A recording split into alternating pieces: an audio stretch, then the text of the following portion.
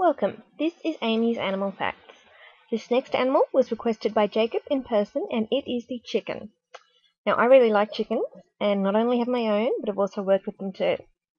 So many of you must be thinking, what could possibly be interesting about a chicken? Well, that's what I'm here to tell you.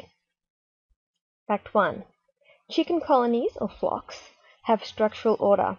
There will be an alpha male who gets to mate the most, and an alpha female, which will ensure her chicks have the best chance of survival, even if it means destroying the other hen's nests.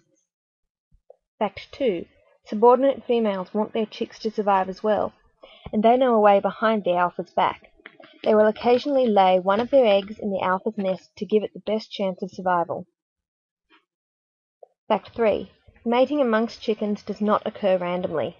Like with many other species, it is usually the female's choice of which male she mates with. Males will attract females by tidbitting. Tidbitting is when the male repeatedly picks up and drops a piece of food, which gives the impression he is a good provider.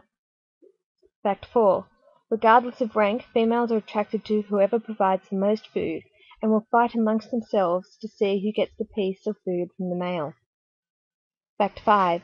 Mating does not usually occur straight after tidbitting, so females must remember each male's performance. Fact 6. Males can be deceptive. Males may perform the action of tidbitting, but without food. However, even though this initially gains the attention of females, his reputation is at stake. Once the females realize he is a liar, they will remember and not be fooled by him again. Fact 7. It is not only tidbitting that will attract females, but also a male's ornaments, including their wattle and comb. Yes, they do have a use. These structures swing while tidbitting occurs, helping to attract attention. Usually the males with bigger wattles attract the most females, simply because it is more attention grabbing to see a big red thing moving rather than a small one. Fact 8.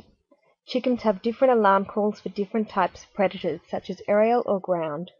Alpha males are most likely to make an alarm call and risk being spotted by the predator in order to warn their hens and chicks. Fact 9. All chickens enjoy what is referred to as dust bathing, which consists of fluffing of the feathers and rolling and splashing about in the dirt. Chickens can become frustrated if they cannot partake in this simple pleasure. Fact 10. Hens will produce eggs without a male. Males only fertilize them. Eggs come out of a cloaca, which is a singular exterior opening used for eggs and excretion.